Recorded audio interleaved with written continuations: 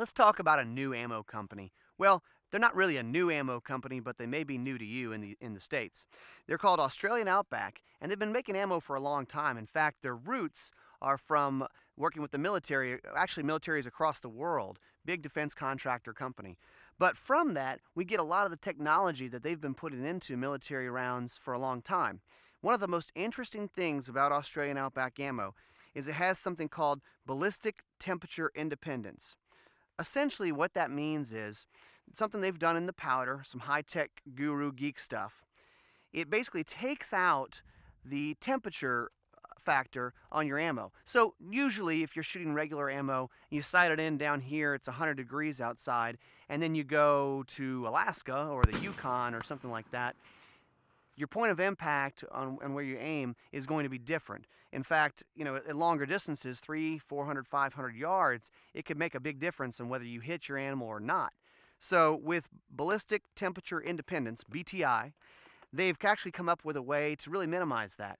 So the temperature is not a factor as much anymore. So we thought we'd set up a little test of our own and try this out. We're not going to microwave the ammo, but we did put it out here in the hot, hot sun for a while. And we've got some on ice in the cooler. So we're going to shoot this on target and see if we can get hits with the hot stuff and the cold stuff. All right, let's do the hot stuff. Oh yeah, oh, that's hot. All right.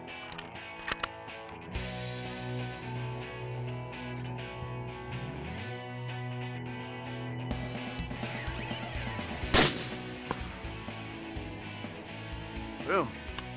Right where we want it. All right, let's do the cold stuff.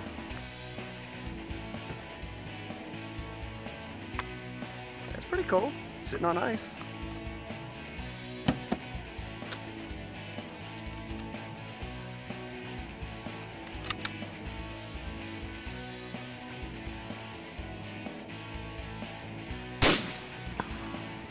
Boom.